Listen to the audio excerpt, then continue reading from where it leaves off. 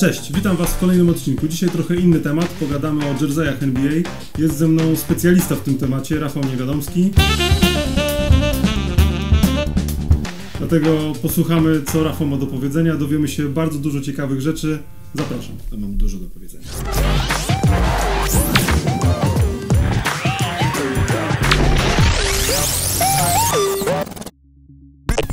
Rafał, na początek powiedz mi, jak to wszystko się zaczęło? Dlaczego postanowiłeś zbierać koszulki?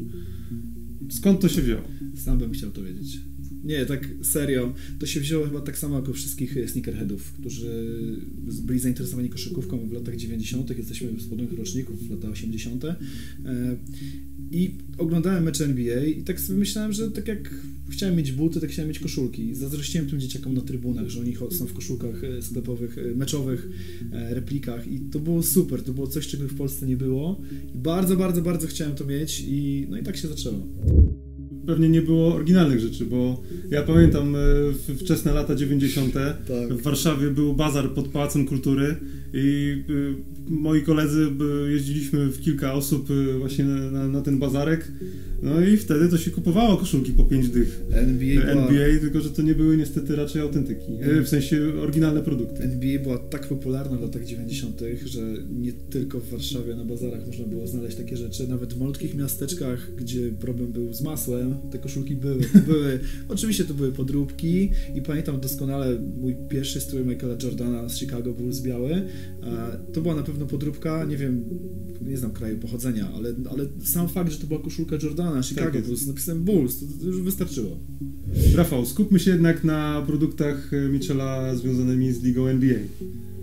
Co tutaj ciekawego możesz nam zdradzić, jeśli chodzi o, o, o te rzeczy? Co ciekawego? Mitchell Ness zaskakuje nas co roku czymś nowym.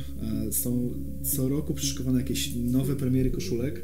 Z reguły to są zawodnicy, którzy trafiają do Hall of Fame. Tak się przypadkiem zdarza ostatnio, że ci, którzy są powoływani, to ich koszulki są dostępne później w sprzedaży. Mhm. Natomiast jeżeli chodzi o koszulki koszykarskie NBA, jest tego masa i myślę, że każdy znajdzie coś dla siebie. Każdy fan, praktycznie każdej ekipy, nawet tych ekip, których już nie ma na, na mapie NBA, typu Seattle Supersonics czy Vancouver Grizzlies, e, też, też, też znajdziecie te rzeczy. Jeżeli jesteście fanami Seattle i, czy Vancouver i tęsknicie za tymi klubami, to szukajcie ciuchów. To też, to też mnie ciekawi, czy są na świecie fani Vancouver Grizzlies jeszcze? Masa. Naprawdę masa. A koszulki Vancouver to, jest, to są białe kruki, jeśli chodzi o dostępność na rynku, bo e, klub istniał w Vancouver tylko przez 4 sezony bodajże, no. dlatego tego jest bardzo mało i...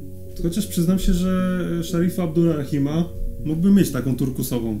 E, uwierz mi, że ludzie zabijają się czy to, był, czy to był turkusowy? No. Tak, taki teal. Taki teal, okay. ale jaki to jest odpowiednik polskiego koloru? Nie ma się tego pojęcia. Moja żona by wiedziała, ja nie wiem. E, natomiast jeżeli chodzi o Mitchell Ednesa, warto zwrócić uwagę na to, że zrobili świetną serię koszulek Jordana.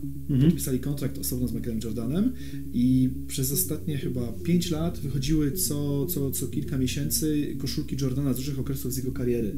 Na przykład wyszła koszulka, nie wiem, z The Shot, czyli rzutu, który oddał Cleveland Cavaliers, który, który wprowadził Chicago do kolejnej rundy w playoffach. Tak się naprawdę zaczął Michael Jordan w NBA, od tego był początek jego znamy. Więc wyszła taka koszulka, która została zrobiona praktycznie w ten sam sposób.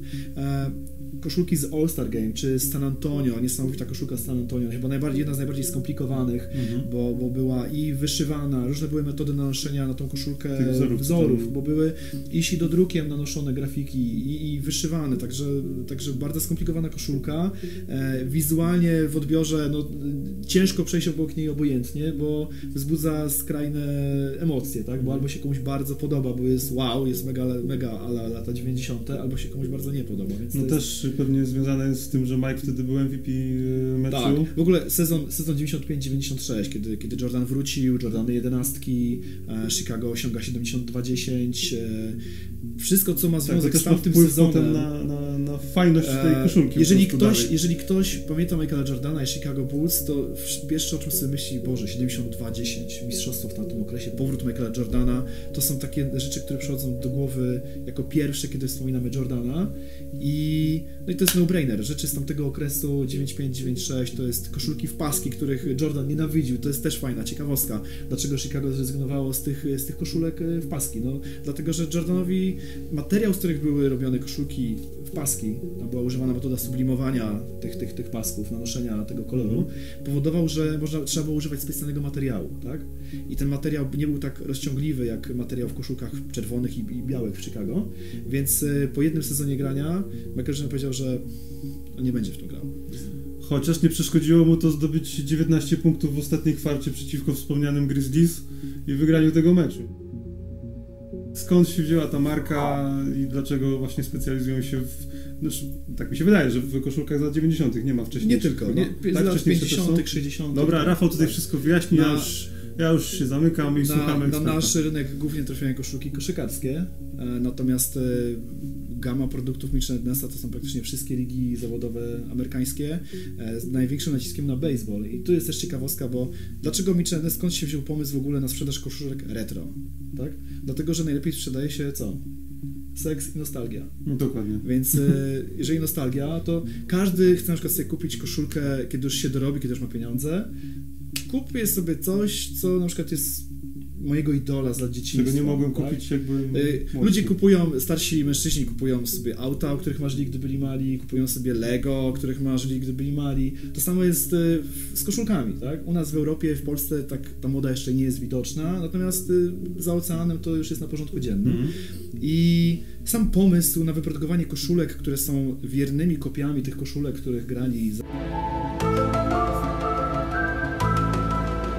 zawodnicy, e, sportowcy w różnych okresach, wziął się stąd, że e, firma Michelin upadała i jej pracownicy przez przypadek y, kiedy już chcieli wyprzedawać cały towar, który mieli, znaleźli belki z materiałem, z takim, z takim flanelowym materiałem, z którego były robione koszulki dla bodajże baseballistów w Filadelfii.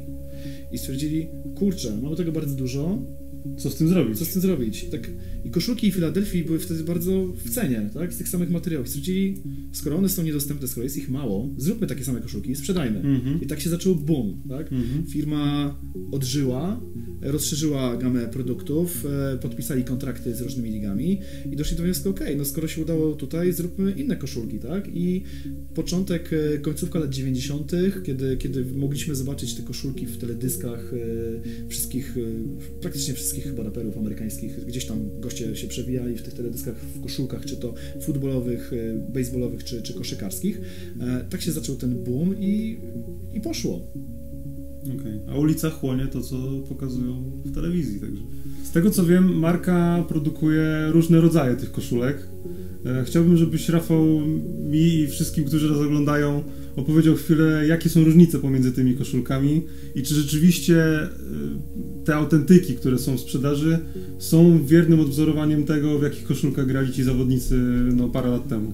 E, zacznijmy od rodzajów tych koszulek. Są dwa podstawowe rodzaje. Pierwszy to jest Swingman, to jest taka koszulka tańsza w produkcji, e, przypomina bardzo wizualnie, praktycznie jest identyczna. Wizualnie jest identyczna jak ta koszulka meczowa, natomiast jest różnica w wykonaniu, w wyszyciu tych wszystkich e, emblematów, nu, numerów. Wiadomo, że jeżeli coś ma być tańsze, to musi być zrobione prościej, żeby mhm. produkcja tego mniej kosztowała i by była dostępna dla e, każdego kibica, tak? Bo nie oszukujmy się, to nie są tanie rzeczy, E, więc y, to jest taki jest inny target. Szukamy tutaj młodszych kibiców, mniej zamożnych, żeby mogli sobie pozwolić na koszulkę, żeby mogli e, też godnie reprezentować, mm -hmm. fajnie reprezentować swój ulubiony zespół.